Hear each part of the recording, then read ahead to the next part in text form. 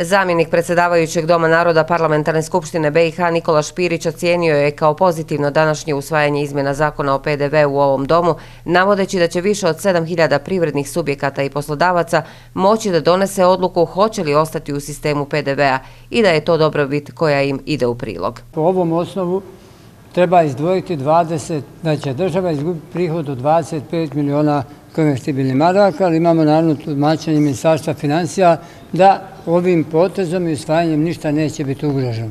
Zašto, možete pitati, nije bilo usmjene izmjene dopuna na prošlim sjednicama? Zato što nismo imali odgovor.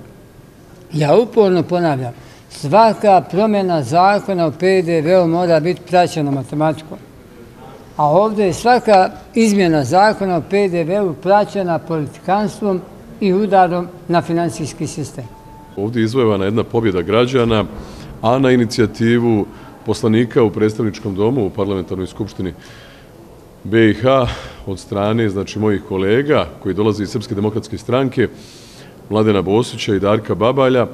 Također drago mi je da je nakon pritiska javnosti, nakon pritiska privrednika, dijela građana, ekonomskih stručnjaka, SNSD-u došlo do stava da konačno izglasaju ovaj zakon, znači koji će pomoći velikom broju privrednih subjekata u ovoj zemlji. Pa taj zakon je značajan za mali poduzetnike i ja vjerujem da će sa ovim izmjenama kad stupe na snagu omogućiti malim poduzetnicima koji su do sad možda čak i zatvorili svoja mala poduzeća ponovno moći otvoriti jer ipak puno znači da ste izvan sustava PDV-a.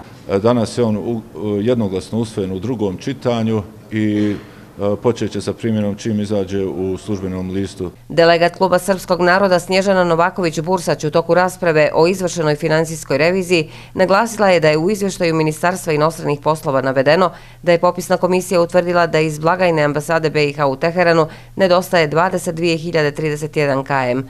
U opširnom izvještaju piše i da je bivši ministar Bisera Turković na devet putovanja potrošila 285.000 konvertibilnih maraka. Navedeno je i da je u Agenciji za zaštitu nacionalnih spomenika narušena nacionalna struktura zaposlenih. U Agenciji za zaštitu nacionalnih spomenika, a ovo je valjda dom za zaštitu vitalne nacionalne interese, pogledajte strukturu zaposlenih.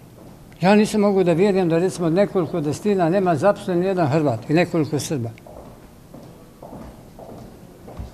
I danas se ljute kad im ja to ukažem da to nije dobar put za Bosnu i Hercegovini. Kroz dnevnu točku izvješća o nezastupljenosti Hrvata u institucijama Bosne i Hercegovine. Što točno, dakle, gospodin Špirić i gospodin Džaferović vode raspravu, što točno pokazuje kakva je situacija i kakvi su odnosi i na ovoj razini i na svim razinama u Bosni i Hercegovini i što potpuno potvrđuje naša politička stajališta da nismo u ravnopravnom položaju s ostala dva naroda.